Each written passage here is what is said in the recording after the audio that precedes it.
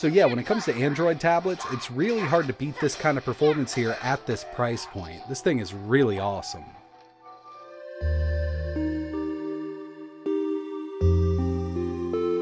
Hey, what's going on everybody? It's ETA Prime back here again. Today we're going to be taking a look at what I consider the best budget Android tablet on the market right now. This is the Redmi Pad.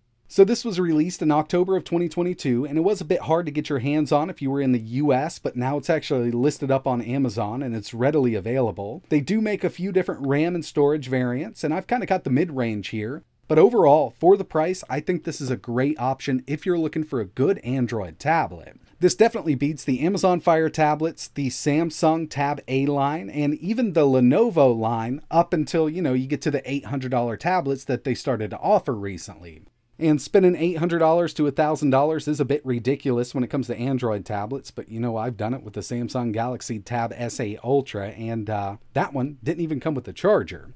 But with the Redmi Pad, we do get an 18 watt fast charger. It's got an 8000 mAh battery, and it's actually got a lot going for it given the price point here. Now these range from $230 up to $270 depending on the RAM and storage variant. Like I mentioned, I've got the mid-range here, 4 gigs of RAM, 128 gigabytes of storage, but all of them have a beautiful 10.61 inch IPS display, an 8000 mAh battery. We've also got quad speakers with Dolby Atmos, and all of them do support a micro SD card. Now I've tested up to a 400 gigabyte card and it works out just fine in this tablet. We've also got an 8 megapixel rear camera and an 8 megapixel front camera. And I gotta say, I really do like the design here. They do have a few different color options. I've got the gray one here, or you could go with black, but the one I really wanted was the mint green version. Unfortunately, it was gonna take a couple more days to get to me, so I just went with the gray version. But we've got the same specs here.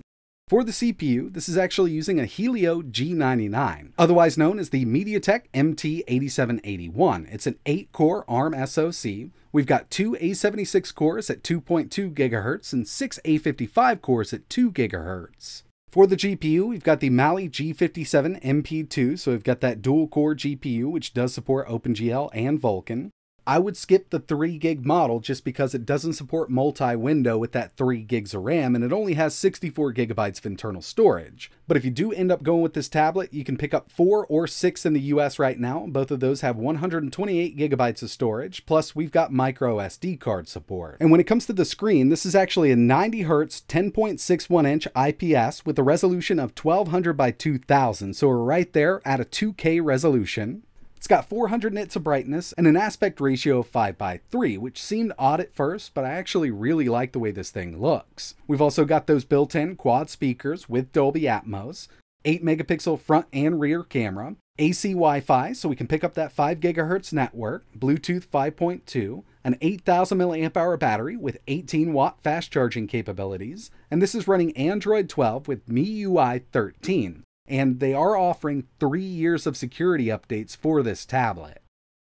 So overall, we've got a very snappy system here with that G99 CPU. It's not a top-of-the-line CPU by any means. I mean, it's not going to match performance of the Snapdragon 888, but we're not working with those kind of prices either. We've got full access to Google Play, so you don't have to worry about that. You can head in here, and download your favorite games and applications, and we will be testing out some native Android games and emulation in this video. And uh, overall, yeah, I mean, I've actually really enjoyed this operating system. I've always been a big fan of MIUI. I think they've done a great job over the years, and when it comes to the Android 12 version, which just happens to be named MIUI 13, it does work out really well on a tablet like this.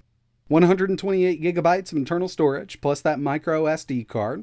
I've only tested up to a 400 gigabyte card, and I know that's going to be plenty for a lot of people, but it will support a 1 terabyte card if you want to go that route. Now, one of the main things I'd see a lot of people using this for is media consumption. You know, video playback from your favorite streaming apps, and one very important thing when it comes to these lower cost tablets is the Widevine level. Luckily, we're level 1, so we can get HD Netflix, HBO Max, and Hulu, a lot of these tablets don't have a great widevine level, so you can only do standard definition. But with this, we can go up to a 2K resolution with Netflix playback on the built-in display. And speaking of video playback, one thing I always like to test here is some YouTube video playback. So we'll head over to a 2K video. So we're 1440p, 60 FPS. I'll turn stats for nerds on so we can see exactly what's going on here. Make sure we're at 1440p. And we're at 60 FPS. Stats for Nerds.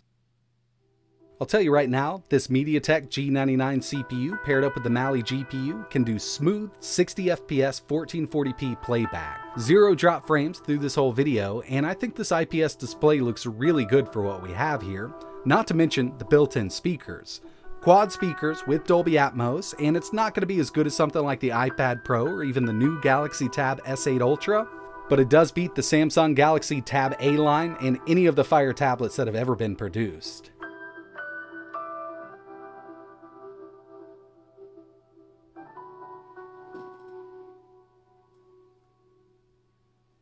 So we've got video playback covered. This thing's going to handle it just fine. The next thing I wanted to take a look at was some native Android gaming. And we do have a gaming mode here that's built into the tablet's operating system. This is actually pretty cool and it does help out with performance. We can add different applications here. It'll automatically add games, but you can actually add basically anything you want. And we'll just start up Minecraft. As you can see, Game Turbo is active. And we've got a few settings that we can mess with. So if we swipe from the top right hand corner, we can actually clear the RAM directly from here, which, uh, you know, if you've got a lot of stuff open up in the background is going to help out. But the most important thing here is performance mode.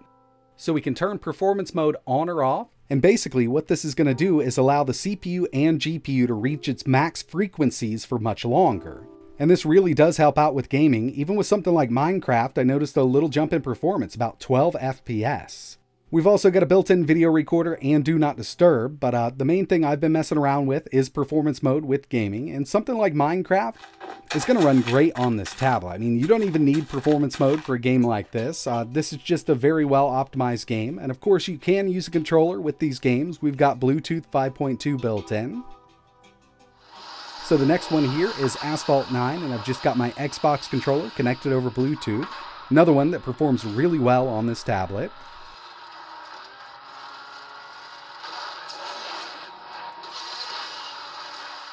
I also wanted to test Call of Duty Mobile, and this is another one of those games that works great with a controller. We're at medium settings with the frame rate set to high, so we are at 60 FPS with this, and it's really smooth. I mean, it plays just fine on this tablet. And of course, we also had to test out Genshin Impact. Now, this is a harder one to run. I'm at low settings, 60 FPS, and it's really smooth at 60. Every once in a while, we do get a few dips, few stutters, but we do have setting to go to 45, and I think a low medium mix at 45 FPS would be the way to run it on this tablet. Or, you know, if you don't mind 30 FPS, medium 30 works out great. And we can also go down to the lowest setting if you don't want to have these stutters going on, but personally, I just think it degrades the quality a little too much. So uh, 45 FPS with a low medium mix is probably how I'm going to be running it on this tablet from now on. So overall, native Android gaming works out great on this tablet. The next thing I wanted to take a look at was some emulation. We're going to start off light here with N64. I'm using Mupen 64 plus FZ. As you can see, 007 is running fine, and by the way, I'm still using an Xbox controller connected over Bluetooth. We've got Diddy Kong Racing, so yeah, N64 on this thing is going to work out great. Let's take it up a bit to Dreamcast. And here I'm using the Redream emulator. We're at 1280 by 960, looking good here with Sonic Adventure 2. I mean, as long as the game's compatible with the Redream emulator or even Flycast, it's going to run at full speed on this hardware. Another one that works great is PSP using the PPSSPP emulator. We've got Tekken 6, Vulkan backend, 3x resolution. Not a super hard game to run, I consider this a mid-range game, and at 3x it's looking great. With the easier to emulate stuff, you could even go up to 5x, and the screen's resolution here can definitely support it. But we've got a harder one we need to test, and that's going to be the God of War series. Here's uh, Ghost of Sparta. With this, I had to go down to 2x. We're still using the Vulkan backend, but it's running great. So if we can run, you know, Chains of Olympus and Ghost of Sparta at full speed, we're not going to have an issue with other PSP games. And I don't have any hacks going on right now. There is a chance we could go up to 3x, but you know, even at 2x, it still looks great on this display, and it's running fine. I mean, this is just one of those games that's really hard to run on lower end devices, but the Redmi Pad can definitely handle it, and surprisingly enough, this actually does a pretty decent job with GameCube and Wii also. I'm using Dolphin MMJR. It's kind of a modified version of the Dolphin emulator. So we do have a few hacks going on here with Auto Modellista, but it's running at 60 FPS. Few dips here and there, but this is a harder one to emulate. So obviously, the easier stuff is going to run much better. You want to go with Mario Kart or even Sunshine, you're going to have a great time with it. Now with Mario Kart here, I did have to swap over to the OpenGL backend. I just get a black screen when I'm using the Vulkan backend on Android with this game, but yeah, it's running really well. But I'd say one of the most surprising things here with the Dolphin emulator was Wii emulation. Tatsunoko versus Capcom with the Vulkan backend runs pretty well, but uh, I'm going to tell you, not every single GameCube and Wii game is going to run at full speed on this tablet. This is just kind of a little side thing that we've got going on. There's still a lot of easier to emulate games that will run on this, but the last thing I wanted to test here was PS2 using Aether SX2. Here's Kingdom Hearts 2 at 1x resolution with the Vulkan back backend. I'm not using any kind of cycle skips or anything like that for this game, but it is an easier one to emulate, and this is performing much better than I thought it would. Next up, we've got Mortal Kombat Armageddon. Again, no cycle skips, we're still at 1x resolution with Aether SX2 using the Vulkan backend. And yeah, really surprising performance here for PS2 games, but kind of just like GameCube and Wii, it's really going to depend on the game. As a lot of us already know, there's easier to emulate stuff and there's harder to emulate stuff. Here's Gran Turismo 4. I consider this a mid-range game when it comes to PS2, either on PC using PC SX2 or Android using Aether SX2. But you know, when I was testing this game out on the Redmi Pad, I was actually having a really good time with this game few dips here and there, but that's kind of a given. You know, we're not working with top of the line specs on this tablet. And the final one here is God of War 2. Now with the other three games that we just saw running, we were in safe mode at 1x resolution. With God of War 2, since it is a harder one to emulate on Android, we had to go down to 0.5 resolution.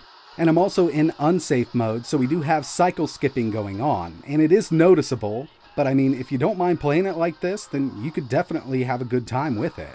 So when it comes to PS2, just like GameCube and Wii, yeah, we've got games that are going to run at full speed, but uh, there are games that just aren't going to perform as well. And the final thing I tested was battery life. Remember, we've got an 8000 milliamp hour battery, and I ran a 1080p video loop with the screen brightness at 75%. We got 12 hours and 18 minutes out of it. So the battery life on this thing is looking really good, and you know, when it comes to continuous gaming, I wouldn't doubt we could do 6 hours straight with this unit. So overall, I think the Redmi Pad is a great performing tablet for the price, and yeah, it is coming in more expensive than the Amazon Fire 10, but you're getting a lot more out of it. Build quality, software, and performance, I mean, this beats it hands down.